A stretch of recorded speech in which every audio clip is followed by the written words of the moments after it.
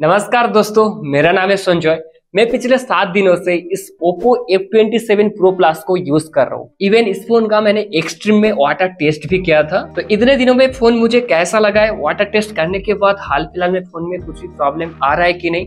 A to Z वाई detail में इसकी रिव्यू करेंगे इसी वीडियो में। तो चलिए सबसे पहले शुरुआत करता हूँ इसकी हाईलाइटेड जो फीचर्स बाई IP69 रेटिंग के बारे में। भाई, पहले मैंने इस फ़ोन को वन लीटर पानी के अंदर फाइव मिनट के लिए छोड़ दिया था। देन मैंने चेक किया, यहाँ पर कुछ भी प्रॉब्लम नहीं आए।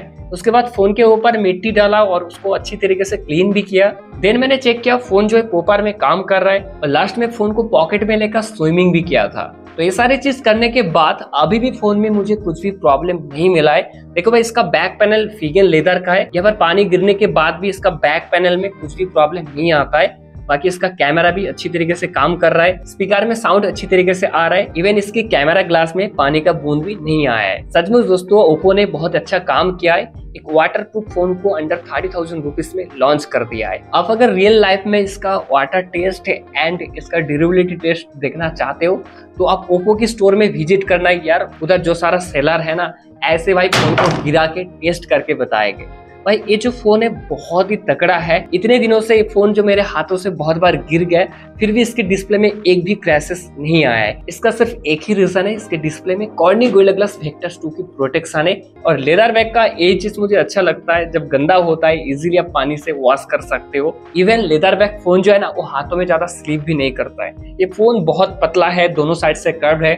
इन हैंड फील भी मुझे बहुत ही अच्छा लगा है। इवन इसका बैक पैनल भी पीछे से दबता नहीं है। और तो फ़ोन का वेट सिर्फ़ वन 178 ग्राम का है। बाकी इसका डिस्प्ले का साइज़ भी बड़ा रखा है। एमोलेट पैनल है डिस्प्ले का बेजल और चेन भी छोटा रखा है। थ्री कर्व डिस्प्ले लेकिन मैंने एक चीज़ नोटिस किया, इसका जो थ्री डिस्प्ले है ना, उसका जो थिकनेस है आदर्श थ्री डी कर्व डिस्प्ले से थोड़ा सा कम है। यहाँ पर ओप्पो बहुत ही स्मार्ट तरीके से आपको चुना लगा रहा है। इस फ़ोन में है 120 ट्वेंटी का रिफ्रेश रेट लेकिन ये जो 120 ट्वेंटी का रिफ्रेश रेट है, ये सिर्फ़ एपवेयर पर और होम स्क्रीन में काम करता है। जब आप ऐप को ओपन करोगे ऐप के अंदर 90 हर्ट्स में या 60 हर्ट्स में चल रहा है। लेकिन इसका ब्राइटनेस अच्छा रखा है। अब डायरेक्ट सनलाइट में इस फ़ोन को आराम से यूज़ कर सकते हो। वेल कंटेंट देखने के लिए इसका डिस्प्ले मुझे बहुत ही अच्छा लगा है। यूट्यूब पर आप फोर में एच वीडियो देख सकते हो। और इसमें कलर एक्यूरेसी बहुत ही प्यारा सा आता है।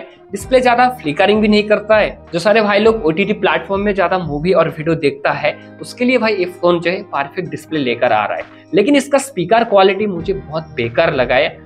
फुल वॉल्यूम जब आप करोगे, यहाँ पर 300 परसेंट वॉल्यूम हो जाता है और 300 परसेंट वॉल्यूम में भाई यहाँ पर साउंड जो फटता है। वेल इस फ़ोन में सिक्योरिटी के लिए इन डिस्प्ले फिंगरप्रिंट सेंसर जो हर बार एक्यूरेट और अच्छे तरीके से काम भी करता है इवन आपका हाथ गीला भी है, फिर भी ये अनलॉक कर लेता है। लेकिन इस फ़ोन में जो हैप्टिक मोटर्स है ना यहाँ पर कॉस्ट कटिंग किया है ओप्पो वालों ने। वही घुरघुर वाला मोटर यहाँ पर नहीं दिया है। भाई प्राइस ज़्यादा है, वो चीज़ तो देना चाहिए था। बाकी इसमें 5G नेटवर्क टकाटक मिल जाता है भाई, मेरे एरिया के हिसाब से 5G का स्पीड इसमें बहुत ही अच्छा आ रहा है। इवन जब आप 5G नेटवर्क में कॉल करते हो, यहाँ पर 4G में स्विच नहीं होता है। डिफ़ॉल्ट इसमें गूगल की डायलर है कॉल रिकॉर्डिंग अनाउंसमेंट को डिस्प्ले करने के लिए। प्ले स्टोर से ओ डायलर एप्लीकेशन को इंस्टॉल कर लेना, उसमें आप चुपके से कॉल रिकॉर्ड कर पाओगे। और तो इस फ़ोन में डेडिकेटेड प्रॉक्सिमिटी सेंसर है। लेकिन इस फ़ोन में आप एसडी कार्ड को यूज़ नहीं कर सकते हो, और इसमें जो डुअल माइक है, वो नॉइस को बहुत ही अच्छी तरीके से कैंसिलिंग भी कर लेता है। भाई, अभी एआई का जमाना है, और इस Oppo F27 प्रो Plus में एआई के रिलेटेड ढेर सारी फीचर्स भी मिल जाएगा।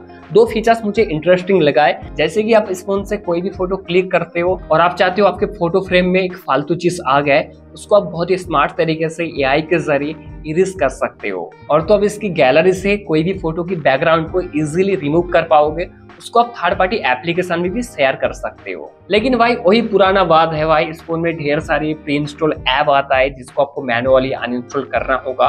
उसी के साथ यहाँ पर हॉट एप्स हॉट गेम्स भी मिल जाता है, ढेर सारी पुश नोटिफिकेशन आता है। ये ओप्पो का आदत है। मुझे लगता है पच्चीस हज़ार के ऊपर में जो सारा फ़ोन आता है ओप्पो की तरफ़ से तो उसमें ये सारी चीज़ नहीं देना चाहिए। फिर भी आपका क्या ओपिनियन है, आप मुझे कमेंट में ज़रूर बता सकते हो। शायद इस वीडियो के ज़रिए ओप्पो को एक फीडबैक भी मिल जाए। भाई, ये जो F twenty seven Pro Plus phone है ना, ये परफॉर्मेंस सेंट्रिक फ़ोन नहीं है, क्योंकि इस फ़ोन में जो चिपसेट है, पंद्रह हज़ार के फ़ोन में वो चिपसेट मिल रहा है। Dimensity seven zero five zero chipset जो रियलमी पी वन के अंदर है। अंतुत उसको चिपसेट के हिसाब से अच्छा है, लेकिन प्राइस के हिसाब से तो अच्छा नहीं है। भाई, इतने दिनों में एक नॉर्मल यूज़र के हिसाब से या कि हैवी यूज़र के हिसाब से इसका परफॉर्मेंस मुझे बहुत ही अच्छा लगा है। आप यहाँ पर देख सकते हो इसका स्टोरेज में 80 परसेंट से भी ज़्यादा भर चुका हो, और यहाँ पर आप देख लो इसका ऐप ओपनिंग स्पीड पहले की तरह है। जब आप फ़ोन को नेविगेशन बटन पर यूज़ करोगे तो ऐप ओपन ऐप क्लोज में आपको एनिमेशन नहीं मिलेगा, लेकिन जब आप जेस्टस में यूज़ करोगे, यहाँ पर ऐप ओपन ऐप क्लोज में एनिमेशन मिलता है। बाकी इसकी परफॉर्मेंस को और भी एक्सट्रीम लेवल में टेस्ट करने के लिए इस फ़ोन के साथ मैंने वन प्लस नॉट थ्री का स्पीड टेस्ट किया था और यहाँ पर आप देख सकते हो ऐप ओपनिंग स्पीड के मामले में भाई ये फ़ोन पीछे से नहीं रहा है। देन मैंने मोटरोला एच फिफ्टी फ्यूजन के साथ भी टेस्ट किया था और यहाँ पर आप देख सकते हो मिली सेकेंड का अंतर है। डे टू लाइफ यूज़ में फ़ोन जो है हैंग तो नहीं करता है, लेकिन गेमार के लिए भाई ये फ़ोन इतना अच्छा नहीं है। क्योंकि इस प्राइस सेगमेंट में बहुत सारी फ़ोन में 90 पीस गेमिंग का सपोर्ट मिलता है। इसमें आप 60 पीस में बीजेएम गेम को खेल पाओगे। 60 पीस के हिसाब से अगर आप लो ग्राफिक सेटिंग्स में एक घंटे के लिए गेम प्ले करते हो तो आपको अच्छा परफॉर्मेंस मिलेगा। इससे ज़्यादा अगर आप खेलने के लिए कोशिश करोगे तो इसका एपीएस ड्रॉप होगा। इवन गेम में आपको फ्रेम ड्रॉप मिलेगा। आप अगर गलती से इस फ़ोन में हाई ग्राफिक सेटिंग्स में गेम प्ले करते हो तो एक दो मैच के बाद इसका फ्रेम ड्रॉप जो है वो स्टार्ट हो जाता है। इतने दिन इस फ़ोन को यूज़ करने के बाद मुझे ये तो पता चल गया ये फ़ोन जो है कैजुअल गेमर के लिए बना हुआ है। बहुत सारे भाई लोग फ़ोन से वीडियो एडिटिंग करता है तो एडिटिंग के लिए इस फ़ोन को खरीदने के लिए सोच रहा है। देखो भाई, इस फ़ोन से आप काइन मास्टर एप्लीकेशन में फोर के वीडियो एडिटिंग नहीं कर पाओगे। एक्सपोर्ट सेटिंग्स मैक्सिमम आपको टू के का मिलेगा।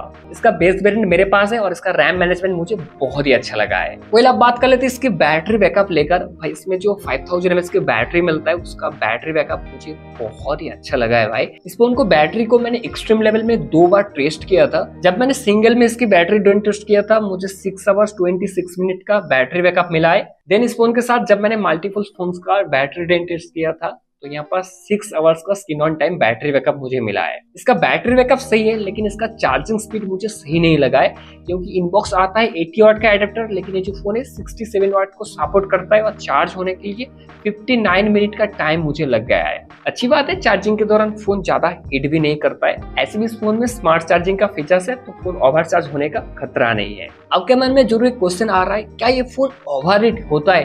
भाई, इसकी हीट को टेस्ट करने के लिए मैंने सबसे पहले 30 मिनट के लिए इस फ़ोन में सीपीयू थॉटलिंग को रन किया था और यहाँ पर आप देख सकते हो 44 डिग्री सेल्सियस हीट हुआ है। देन मैंने 24 मिनट के लिए 4K में 30 से वीडियो को रिकॉर्ड कर रहा था और यहाँ पर आप देख सकते हो 47 डिग्री के आसपास में ये फ़ोन हीट हुआ है। ये था फ़ोन का मैक्स हीट टेम्परेचर तो अगर आप ऐसे फ़ोन को यूज़ करते हो तो ऐसे कुछ हीट होता है फ़ोन में।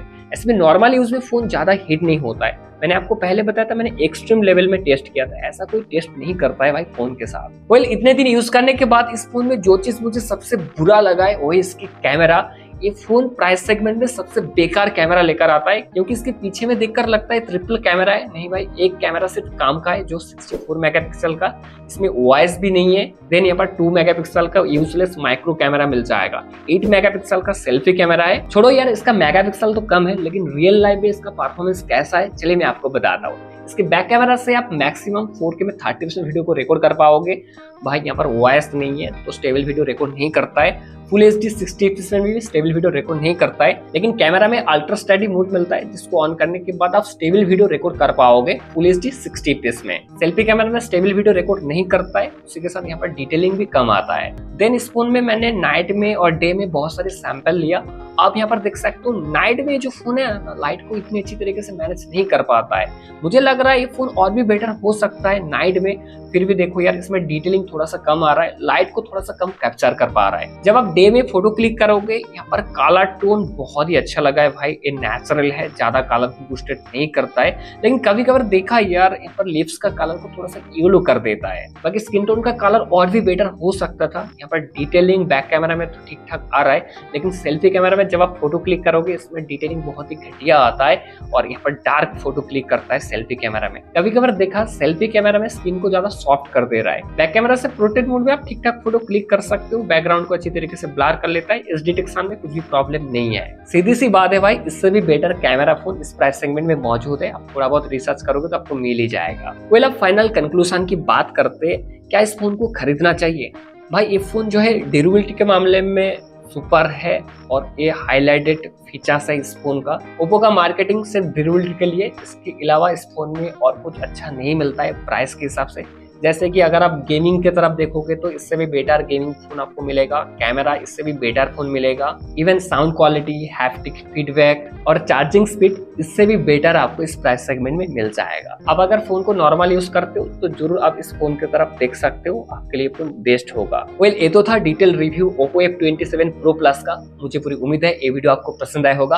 अगर आपको ये वीडियो थोड़ी सी भी हेल्पफुल लगा है तो एक लाइक करके चैनल को सब्सक्राइब करके हमारे साथ जुड़े रहिए।